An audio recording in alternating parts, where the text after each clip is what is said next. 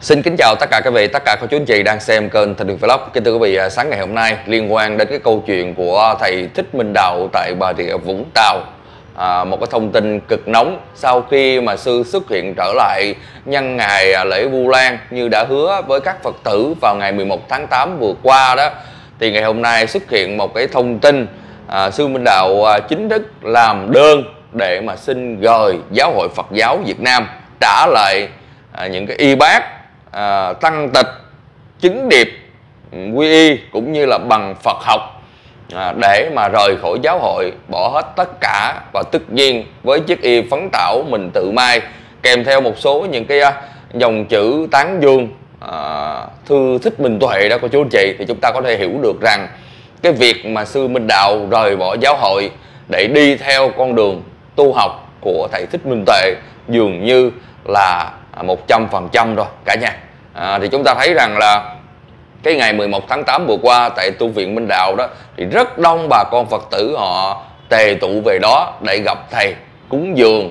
À, cũng như đó là bày tỏ cái lòng tôn kính đối với à, sư Thích Minh Đạo bởi à, với những cái à, lời lẽ tán dương và không ngại gọi là dù là gặp những cái khó khăn và thậm chí là trở ngại thậm chí là bị à, kiểm điểm kỷ lực để mà tán thưởng sư Minh Tuệ thưa quý vị.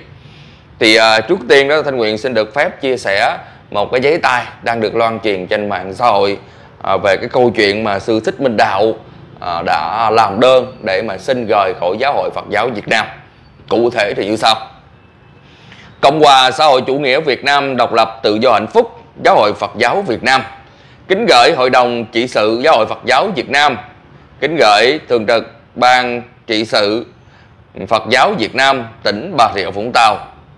Con tên Võ Tiến Dũng, sinh năm 1974 pháp danh Thích Minh Đạo, giáo phẩm là Thượng Tọa, hiện đang trụ trì tu viện Minh Đạo, thôn Phước Thành, xã Trăng Hòa, thị xã Phú Mỹ, tỉnh Bà Rịa Vũng Tàu.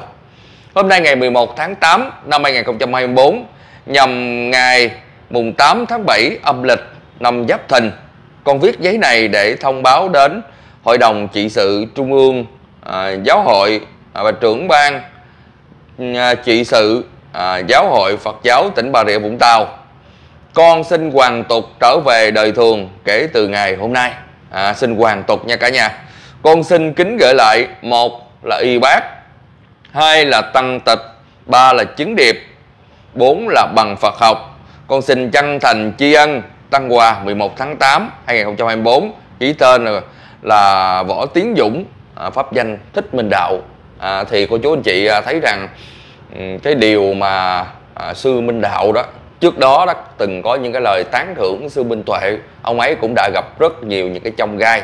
Nhưng mà bù lại thì quý vị có thể hiểu được rằng giành được rất nhiều những cái tình cảm của phật tử trên cả nước. Bằng chứng chúng ta thấy rõ là à, tại chùa tu viện minh đạo thì à, sau khi đó à, xuất hiện những cái ồn ào về cái câu chuyện mà thầy bị à, phải nhập thất đó bị sám hối đó. Thì à, bà con họ đến rất là đông và biết thêm những cái hoàn cảnh chùa rất là nghèo. Thầy phải nuôi những à, em nhỏ rất nhiều những cái em nhỏ bị à, ờ, kiểu như là mồ côi đó. Cô chú anh chị à, nuôi cho ăn học và cái đó là cái tâm huyết của thầy Minh Đạo cả nhà. Ai cũng quý ai cũng thương và ngày 11 tháng 8 vừa qua người ta về đó rất là đông kẹt xe kẹt đường cũng gì đến gọi là để mà thăm và mong muốn gặp thầy. Với chiếc y phấn tảo mình tự mai kèm theo một số những cái dòng tâm sự mà thầy à, tâm sự về cái câu chuyện mình đã tôn kính sư Minh Tuệ và cho rằng con đường tu học như sư Minh Tuệ à, mới có thể à, gọi là những cái bậc gọi là à, chân tu và trên cái con đường giác ngộ và giải thoát. Ừ thì ngày hôm nay với cái động thái này à, là người đầu tiên là trụ trì trong một ngôi chùa và trong giáo hội đó thì à, đã chính thức gọi là xin rời giáo hội à, và xin quan tục trở về. Quan tục ở đây thì có nghĩa rằng cái điều đầu tiên đó thì cô chú anh chị có thể hiểu được rằng thầy muốn từ bỏ tất cả, bỏ hết tất cả chức danh rồi bằng cấp y bác, tăng tịch chứng điệp quy của mình thầy xin từ bỏ hết tất cả mọi thứ để làm gì cô chú anh chị? À, như sư minh tuệ vậy đó. Ông ấy đâu có cần những cái thứ đó đâu. À, đâu có cần những cái vấn đề như là chứng điệp ừ, hay cho đến là bằng Phật học vân vân vân vân để mà có thể ờ, tu học đâu. Thì có lẽ rằng do cái hình ảnh ảnh hưởng của sư thích minh tuệ ừ, và cũng vì à, cái lý do đó chính là ngưỡng mộ sư thích minh tuệ à, tôn kính sư thích minh tuệ cho nên là sư minh đạo đó cũng đã làm cái điều này ấp ủ kể từ khi mà thầy đã mai y rồi đó cô chú chị. Và mình thấy rằng à, sư đã chụp hình với rất là đông các vị sư khác cũng là mặc y phận tảo giống như sư thích minh tuệ. Mặc dù cho đến thời điểm này thì chúng ta thấy rằng là một số những cái thông tin về sư minh tuệ ngày ấy gọi là tu tập ở đâu và tình hình như thế nào thì rất ít bà con được biết. Có một số video clip các kênh thì đưa lên chỉ là những nội dung cũ thôi cả nhà. Ừ. nhưng mà chúng ta có hiểu được rằng thầy đang tu tập rất là tốt, sức khỏe rất là ổn định và ở một nơi an toàn, tránh xa những cái gọi là thị phi, tránh xa những cái câu chuyện liên quan đến mạng xã hội. Đó là một điều mà mình thấy vô cùng tuyệt vời. Và ngày hôm nay khi mà một vị sư đầu tiên đó, là người gọi là không ngại cái vấn đề gọi là bị phạt bị kỷ luật bị kiểm điểm để mà tán thưởng ủng hộ tán thành à, cái đạo hạnh của sư Minh Tuệ cũng đã chính thức rời giáo hội ừ, làm đơn rời giáo hội và xin hoàn tục để mà có thể nói là đi theo cái con đường à, tu học của sư Minh Tuệ. À, mình không biết rằng khoảng thời gian tới thì còn bao nhiêu người họ muốn làm cái điều này. Đó. mình tin rằng là rất là nhiều các vị sư khác ở trong chùa à, người ta cũng rất là ngưỡng mộ thầy Minh Tuệ và muốn làm như vậy theo thầy. À, nhưng mà vì những cái lý do khác lý do cá nhân mà họ không có thể gọi là lên tiếng. Chỉ có mình thấy là sư Minh Đạo đó ông ấy rất là mạnh mẽ. À, cũng không có ngại về cái vấn đề mà gọi là bị phạt hay là bị kiểm điểm để làm những cái việc làm như là phát à, nói lên những cái lời nói mà thật sự lòng mình muốn nói. Ừ, cô chú anh chị. Ừ. ngày hôm trước thì mình cũng có đến chùa Minh Đạo tu viện Minh Đạo đó cả nhà. Rất là đông bà con ở đó nhưng mà mình cũng không có quay phim chụp hình. À, mình chỉ đến um, tìm thầy mà gặp thầy à, và thắp nhang thôi. À, nhưng mà thắp nhang trong chùa đó cả nhà. Nhưng mà ngày hôm trước thì không có gặp thầy. À, chỉ có ngày 11 tháng 8 vừa qua đó thì thầy mới xuất hiện. Ừ, tiện thể thì mình cũng có gọi là ghé à, sang gọi là thiền tôn Phật quan tí thì à, mình cũng phát hiện ra à, rất nhiều những cái điều mà thú vị ở bên trong đó cả nhà. Ngoài cái ngoài cái bên cái cái cái tu viện Minh Đạo chùa Thiền Tôn bộc quang thì tại nơi uh, núi Dinh đó mình thấy rằng rất là có cũng có rất là nhiều những cái ngôi chùa khác.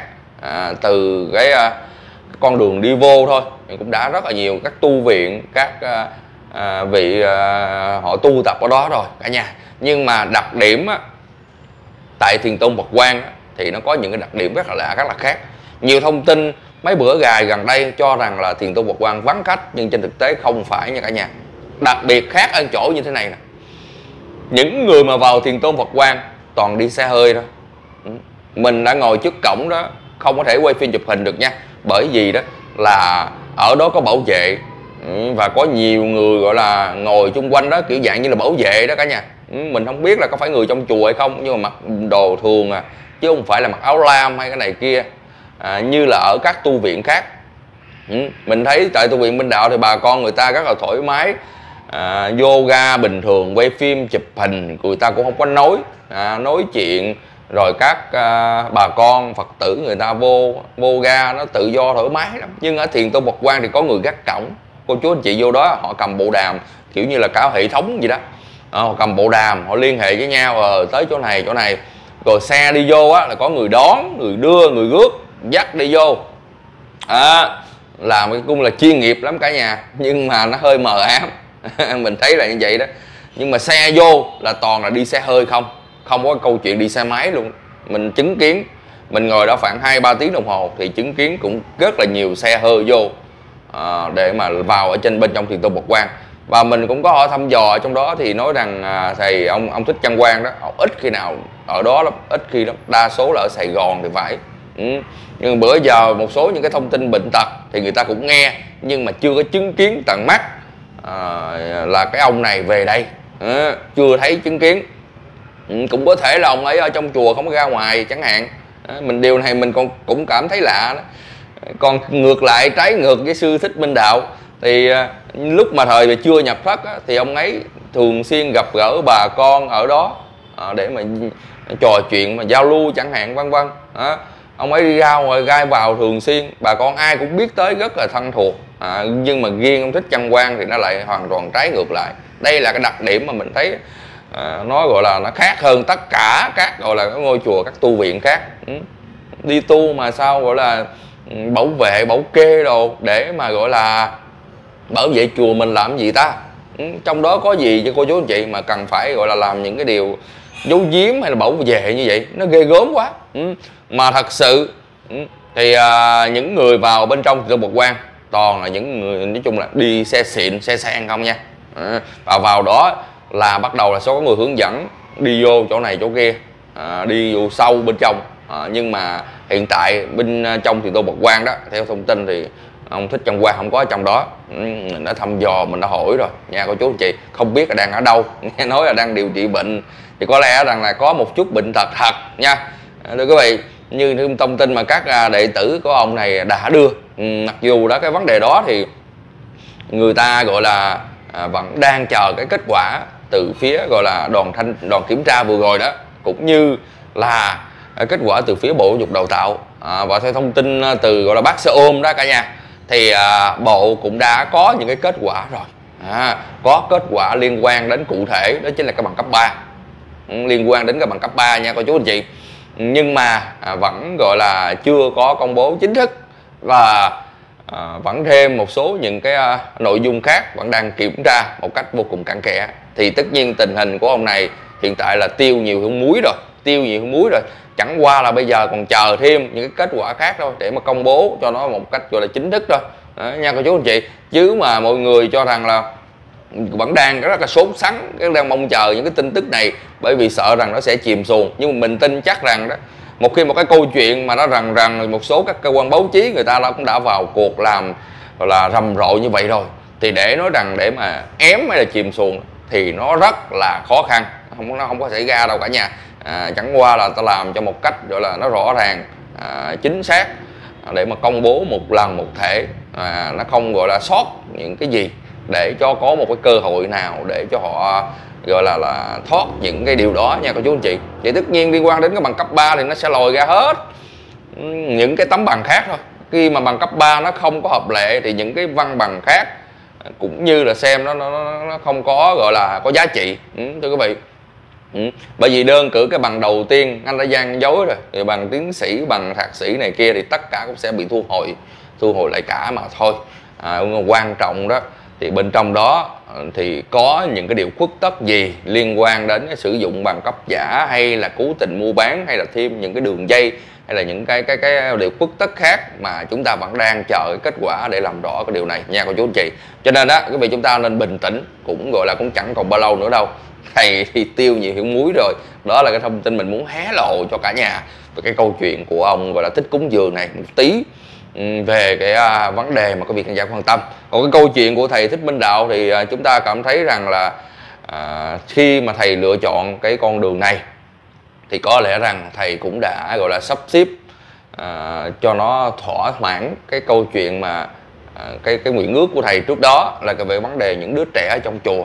Việc thầy hoàn tục thì à, rời khỏi giáo hội đó thì mình nghĩ rằng đó đây chỉ là mới thông tin đầu tiên thôi. Nó cũng sẽ còn rất nhiều những cái khó khăn ở trước mắt.